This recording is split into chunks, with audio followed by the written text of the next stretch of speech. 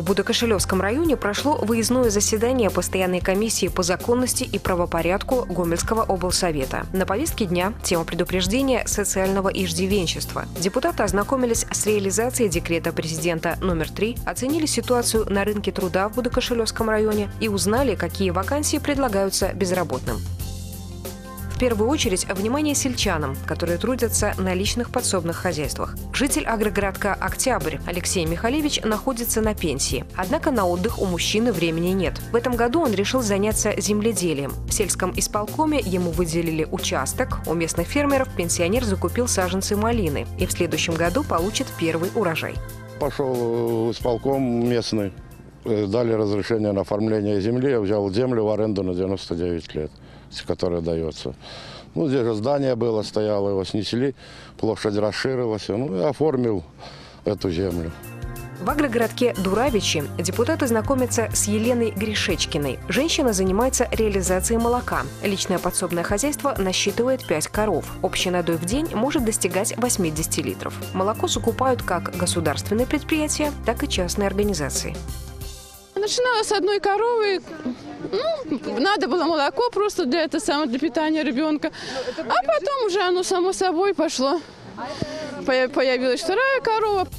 Подобных примеров, когда сельские жители берут в пользование землю и занимаются производством сельхозпродукции, в Будокошелевском районе достаточно. Однако и так называемых социальных иждивенцев хватает. В качестве безработных в Будокошелевском районе официально зарегистрировано 130 человек. При этом почти на каждого приходятся две вакансии, которые наниматели предлагают через отдел занятости. Однако 70% соискателей имеют недостаточный уровень образования. Мы ведем работу по направлению на профобучение, переподготовку, на ну, курсы. Да. И здесь у нас 32 человека уже направлены на профобучение в текущем году. Э, по заявле, по желаниям, так сказать, безработных и по предоставленным нам возможностям мы работаем здесь со среднеспециальными учебными заведениями. Одной из распространенных форм работы по трудоустройству являются ярмарки вакансий. Они проходят два раза в год, в некоторых случаях ежеквартально. Специалисты предприятий и организаций предлагают вакансии в сельском и лесном хозяйствах, образовании, медицине и сфере культуры. Непосредственно на месте можно получить консультацию и даже сразу заключить трудовое соглашение. После посещения ярмарки вакансий на итоговом заседании депутаты обсуждают увиденное. Один из главных вопросов – правомерность взимания налога с неработающих граждан. Хотелось бы нам определить ту категорию э, граждан Республики Беларусь, которые формально обязаны платить, но они, например, в год увольнения со срочной военной службы в запас, а в год окончания э, студентом учебного заведения он чисто физически не может более 183 дней э, поработать в этот период после выпуска, либо пенсионер, который на пенсию выходит. По, по таким гражданам надо принимать взвешенные законодательные решения для того, чтобы уже со следующего следующего года а, с ними можно было работать, если они а, нигде не трудоустроились.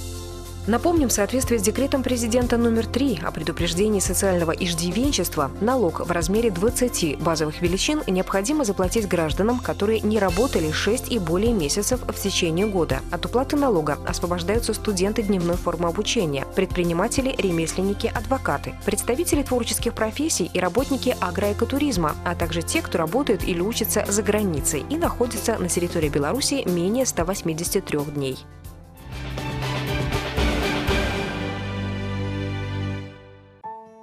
Без прошлого нет настоящего, а без настоящего – будущего. Это утверждение нередко можно встретить в учебниках по истории. Так считают и жители Октябрьского района. Они чтут свою историю и гордятся подвигами предков. Свой отсчет регион ведет с 1507 года, когда впервые в письменных источниках встречается упоминание о селе Рудобелка. Першапачаткова это была назва «рудые белки». Але ёсць э, такое меркаванне, што гэта не былі не белкі, а руда белыя. Чаму белыя? Белыя гэта землі, якія былі вызвалены ад падаткаў. Вось. Але э, памылкова падчас люстрацыі, падчас перапісу э, перапісчыкам была зроблена такая невялічка памылка і руда, рудыя белкі былі ператвораны ў рудабелкі. Вось і па гэтаму ўжо з тога часу э, наша назва нашай нашага краю называлася просто руда белкі. После третьего раздела Речи Посполитой, когда многие белорусские земли вошли в состав Российской империи, Рудобелка стала принадлежать древнему дворянскому роду Лаппа.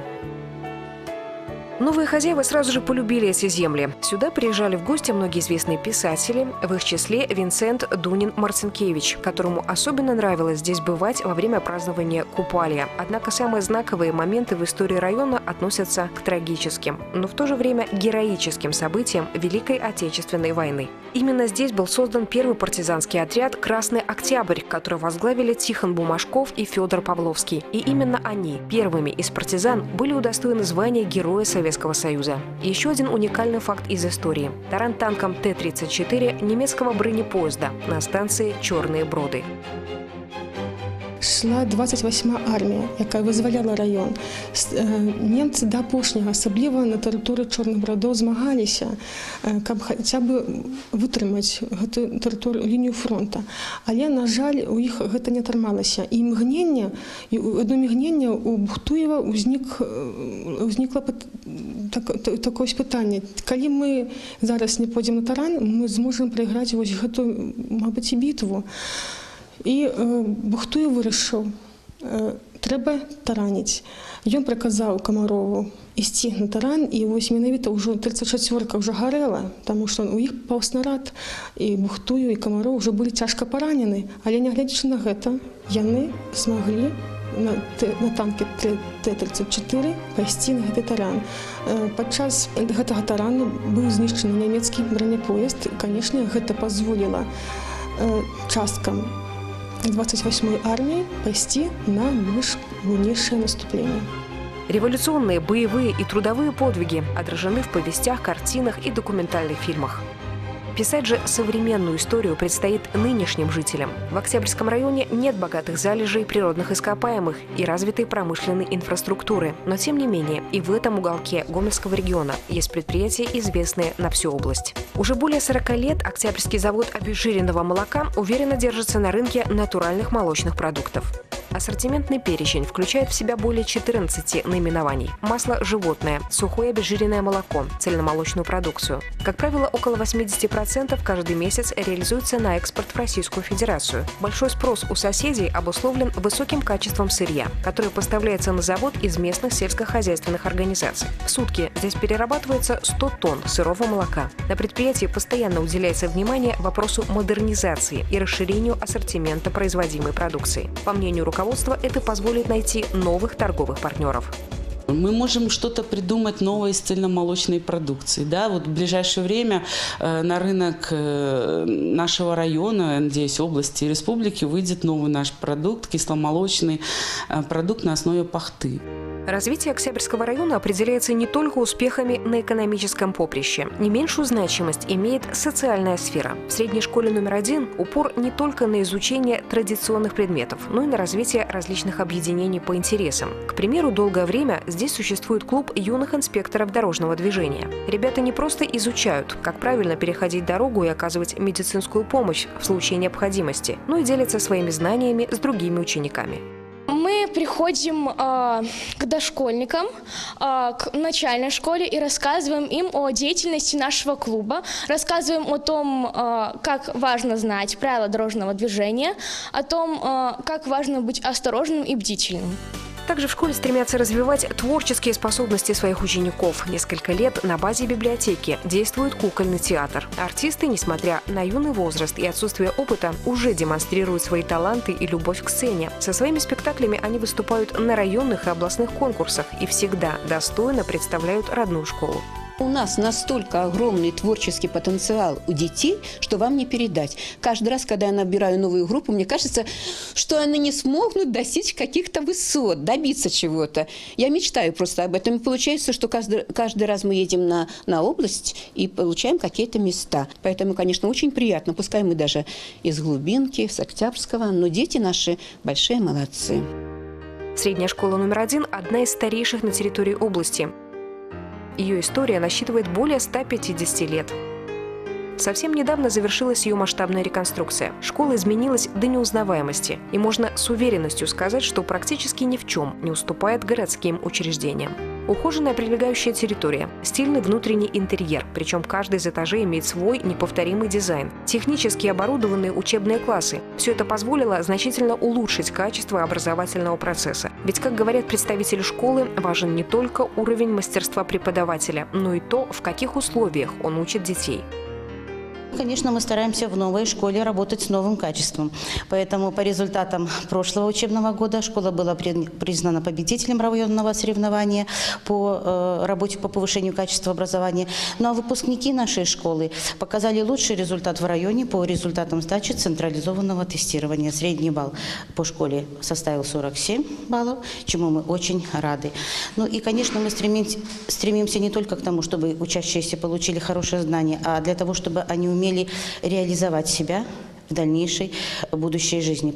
Проявить себя ребята могут, к примеру, на сцене районного дома культуры. Здесь проходят репетиции ансамбля «Вестница», который вот уже 25 лет носит почетное звание «Народный». Состоит художественный коллектив преимущественно из школьников. В свободное от урока время они разучивают новый материал и готовятся к участию в различных конкурсах. Репертуар включает десятки народно-сценических танцев. За время своего существования коллектив неоднократно представлял Октябрьский район на областных, республиканских и международных форумах, где был удостоен многочисленных премий и наград.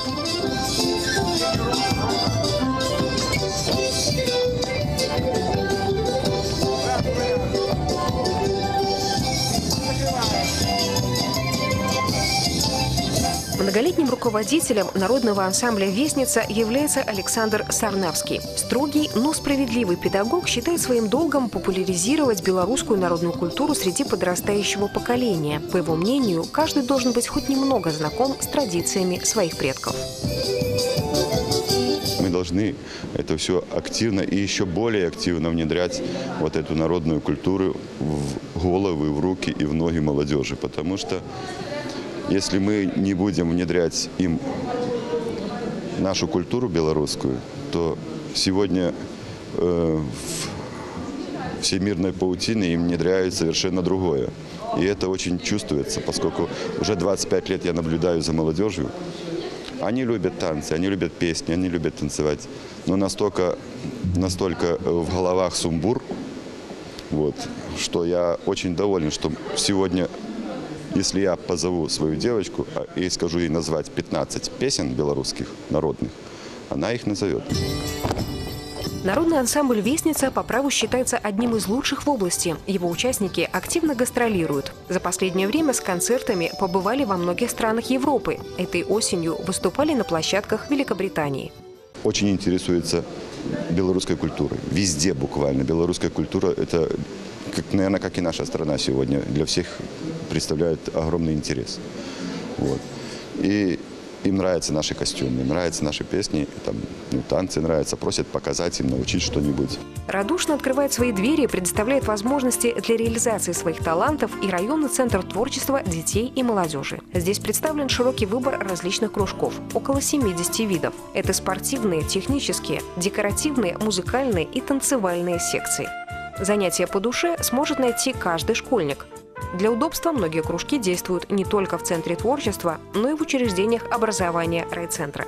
С недавнего времени здесь реализуется инклюзивный проект по включению в активную творческую деятельность детей с особенностями развития. По окончанию проекта, э, результат какой будет, мы этих деток должны ввести, включить в общую группу с типично развивающимися сверстниками. Помогают раскрыть таланты детей и в районном доме ремесел. В основном здании учреждения, а также его филиалах, расположенных в деревнях, действует 11 творческих мастерских. Мы изучаем качество, плетение поясов, мы изучаем э, пошив национального костюма, вышивку, соломоплетением занимаемся – бумажным артом. Э, есть у нас две мастерские по э, керамике и гончарству. Мы хотим еще открыть лозоплетение. Вот то, что как бы нашему населению требуется, потому что ну, много приходят и спрашивают об этом.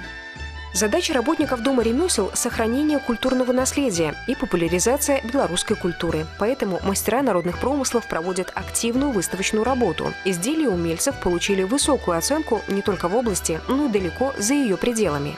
Даже в Москве вот сейчас наша выставка была, в Минске, в Витебскую область ездили на выставку. Ну, где только выставки есть, нас приглашают.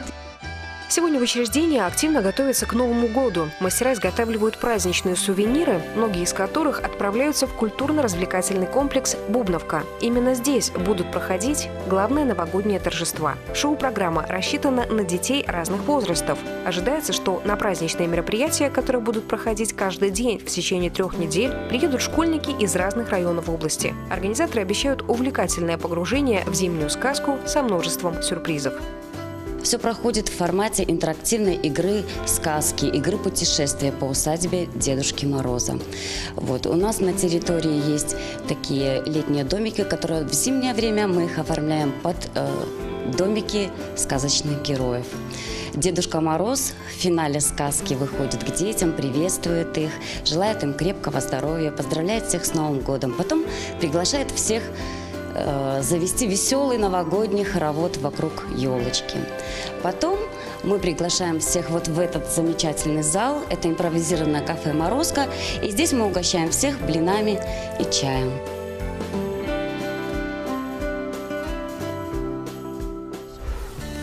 Хорошее настроение в преддверии праздников стараются создать и в магазинах региона. К торговле в новогодний период работники потребкооперации начинают готовиться задолго до наступления календарной зимы. Этот магазин в городе Жлобине пользуется большим спросом у жителей. В предпраздничные дни его популярность обычно возрастает. На данный момент здесь красиво оформили интерьер, расширили ассортимент предлагаемой продукции. Кроме этого, покупатели обещают порадовать проведением специальных акций. На многие товары будут снижены торговые надбавки и отпускные цены страны.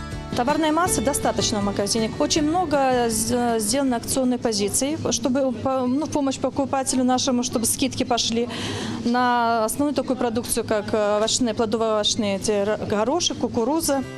А вот сельским жителям Жлобинского района подготовить новогодний стол помогут сельские магазины. Шампанское, мандарины, колбасные и рыбные изделия, подарочные наборы – здесь также среди приоритетных товаров. Главное требование к предновогодней торговле на селе – дать возможность местным жителям приобрести все, что нужно. Если же на полках магазина нет необходимого товара, каждый сельский магазин в районе принимает индивидуальные заказы. Есть тетрадки предварительных заявок. То есть покупатель приходит, если что-то, но в основном это на промгруппу. Продовольствие как как бы у нас мы выдерживаем и ассортимент, и стараемся, чтобы было разнообразие. А по промгруппе, особенно по крупногабаритным, да, пожалуйста, э, приходят, дают заявочки, и в течение там даже, ну, не недели, может быть, меньше, нескольких дней мы это выполняем. Предновогодняя торговля на селе должна быть продумана до мелочей, иначе можно потерять доверие покупателя и омрачить его приятные праздничные хлопоты. Однако в Жлобинском районе с такой проблемой не сталкиваются Па-першае, я хочу сказаць, што зараз вельмі прыемна зайсці ў магазин да новага года. Мне здаецца, што ўсё э, ёсць э, тое, што патрэбна вось кожнай гаспадыні. Тут можна і э, значит, і рыба ёсць у вялікім асартыменце, і каўбасы заўсёды на, на любы густ, і танныя і э, даражэйшыя крыху. Адным словам, што э, вельмі прыемна зараз зайсці ў магазин і купіць тое, што патрэбна. Как и в городе, пик покупательского спроса обычно приходится на последнюю предновогоднюю неделю. Дефицита товаров, уверяют кооператоры, не будет. И купить все необходимое можно даже за несколько часов до наступления Нового года.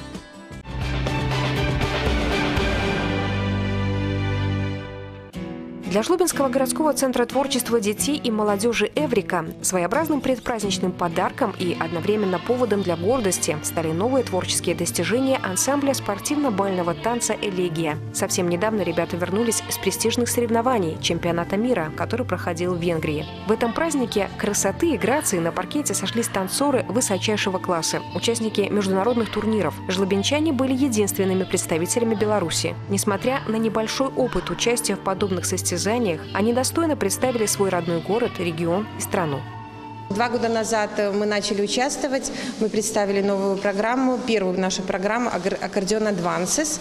Вот, с этой программой мы заняли третье место на чемпионате республики и были номинированы на чемпионат Европы. Мы ездили на чемпионат Европы в Эльблонг, в Польшу в прошлом году, и там стали 13 -е. Вот. На, в прошлом году на чемпионате республики мы заняли второе место. Мы стали серебряным призером, и, соответственно, мы уже были номинированы на чемпионат мира. Вот. И первый раз ездили, получается, несколько дней назад приехали чемпионата мира. Жлобинский ансамбль спортивно-бального танца «Элегия» – это одна большая и сплоченная творческая семья, где каждый готов прийти на помощь и поддержать друг друга. Сейчас здесь занимается пять возрастных групп. Всего около 150 человек, самым младшим из которых – 6 лет. Есть здесь место и преемственности поколений. Младшие группы ведут выпускники ансамбля. Осваивая сложные танцевальные элементы, воспитанники элегии не соперничают на паркете, скорее получают удовольствие от самого творческого процесса. Занимаемся мы с самого детства, очень это нравится, это для нас уже как жизнь. А, ну, многие занимаются даже с лет шести, вот Максим занимается уже около 10 лет, я немножко меньше, но все равно а, понимание того, что это просто превосходно, пришло почти сразу, мы всю себя отдаем танцу. Для меня танцы это как э, профессиональное хобби. Я занимаюсь этим, потому что мне это нравится, потому что я могу достичь в, в этом направлении больших успехов, что мы делаем. А в соседнем зале Жлобинского городского центра творчества детей и молодежи «Эврика» свое мастерство оттачивают юные рукодельницы. Народная студия декоративно-прикладного и изобразительного искусства объединяет креативных и целеустремленных школьниц золотыми руками. Мы изучаем различные виды рукоделия. Дети учатся шить как вручную, так и на машине. Шьют различные игрушки, куклы любят шить. Также делаем различные сувениры для разных праздников вот, которые им тоже очень нравится делать. И пано, и картины, и игрушки, и подарки, особенно для родителей, очень любят делать. Рукоделие, вязание, аппликация, солома и бисероплетение, керамика, вышивка, тестопластика, квиллинг, роспись, мягкая игрушка, рисунок, коллаж. Осваивая новые техники, эти юные мастерицы учатся создавать оригинальные сувениры. Мы э, ну, первый год занимаемся, и нам нравится, потому что э, тут интересно, и учитель добрый, и все объясняет, и как бы на машинках шить получается вручную тоже. Мне нравится, потому что в школе не всегда объясняют так хорошо, как здесь, и можно подарки делать ну, родителям, и ну, есть чем заняться в свободное время. Нельзя обойти вниманием без преувеличения самый веселый кружок Жлобинского городского центра творчества детей и молодежи «Эврика». Ведет его участница многочисленных игр КВН и известных телевизионных юмористических проектов Марина Борискова. Ее главный девиз – идти с улыбкой по жизни. В кружке веселых и находчивых она учит ребят правильной речи, не бояться сцены, камеры и публики. Для самых маленьких занятия по сценической речи и актерскому мастерству. Ребят средней и старшей групп Марина Борискова учит писать шутки, а затем выступать с ними на городских и областных конкурсах. Ребята некоторые занимаются уже несколько лет, э, и видны их результаты. Я имею в виду, да, действительно, сценическая речь. Мы учимся правильно говорить, особенно что касается выступления на сцене. А, мы учим правильно себя вести на сцене, как нужно выходить, где нужно улыбаться, как отыгрывать разные роли. Это серьезная роль, нужно плакать или нужно смеяться. То есть этим всем мы занимаемся. Но еще э, очень важное место в подготовке начинающих КВНщиков занимает э, написание шуток. Это самый сложный момент, особенно для малышей, которые приходят помладше, старшим уже как-то проще сориентироваться, у них уже что-то есть в голове. Но у малышей тоже бывает, что они приносят из дома такие смешные, интересные ситуации, которых даже не нужно придумать, просто аккуратно их а, обыграть, и это уже будет готовая шутка. Сегодня объединение по интересам Жлобинского городского центра творчества детей и молодежи «Эврика» насчитывают свыше тысячи человек. Здесь работают многочисленные кружки, направленные на развитие интеллектуальных и творческих способностей школьников. В учреждении даже создана своя уникальная карта, которая отражает основные направления деятельности. Лестница заветных желаний, которая, если верить воспитанникам, помогает их достичь. К тому же Центр творчества «Эврика» носит внегласный статус детской академии наук. Вся система э, нашего центра построена. Мы играем в игру, называется «Детская академия наук». Если академия, я ректор, у меня есть деканы, у меня есть магистры, которые ведут занятия. И дети, включившись в эту игру, тоже имеют получить звание бакалавра первой степени, второй, третий, звание магистра. И самое последнее у нас почетный член академии. Почетный член академии – это те, кто занимается 12-13 лет в центре. И у нас такие есть. У нас есть праздник «Большой бенефис», когда мы подводим итоги года. Там вручаются ленты почетного члена академии. Мы провожаем выпускников, чествуем дебютантов. То есть наша игра детской академии наук очень оправдана. И она как раз и дает вот импульс к тому, чтобы дети приходили. Здесь интересно, здесь по-семейному, здесь по-доброму. Также организация работает шестой день. У нас каждую субботу проходит дело и для школьников, и для наших эвриканцев, как мы их называем, которые приходят, занимаются здесь, получают удовольствие от того, что они пришли сюда. Следующем году Шлупинский городской центр творчества детей и молодежи «Эврика» отметит свое 20-летие. За это время на счету коллективов учреждения появилось немало почетных наград и званий. Пожелаем, чтобы эти юные шлобинчане и в будущем продолжали покорять новые творческие вершины.